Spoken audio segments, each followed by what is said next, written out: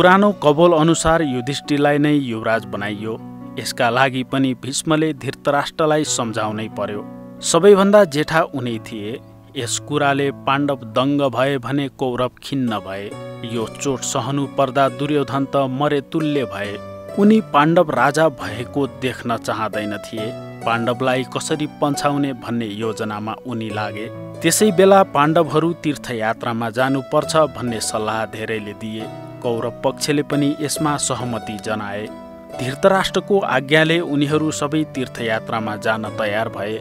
शुभ साइदमा सबै तीर्थयात्रामा लागे।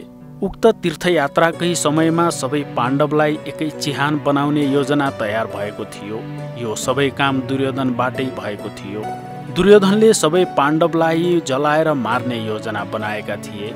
बाँडायत भन्ने ठाउँमा एउटा लाहाको घर बनाउने योजना भयो। त्यसै घरमा पाण्डवलाई राखेर रा आगो लगाई भस्म पार्ने षड्यन्त्र तयार भयो। यो कुराको सुईको विदुरले पाए।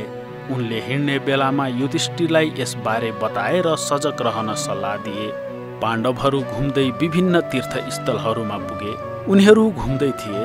त्यसै बेला यता लाहाको घरमा भित्रभित्रै सुरुङ खनी एउटा गोप्य बाटो तयार गरिएको थियो। यो काम मन्त्री विदुरले नै सम्पन्न गराएका थिए। केही समयपछि पाण्डवहरू बाँडायत पुगे।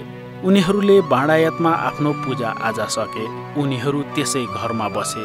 त्यो घर उनीहरूकै निवासका लागि बनाइएको थियो।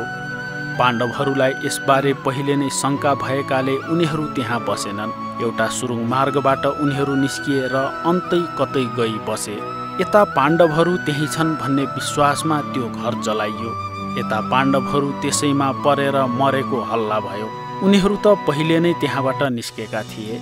उनीहरू दक्षिणतर्फको बाटो हुँदै गङ्गाको किनारमा पुगे। त्यसै बेला विदुरले पठाएको दूत त्यहाँ आइपुग्यो।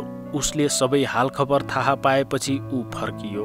पाण्डवहरू विभिन्न देशहरू घुमेर अरू तीर्थस्थलहरूमा पुगेर मात्र हस्तिनापुर फर्कने खबर दूत मार्फत विदुरलाई पठाए।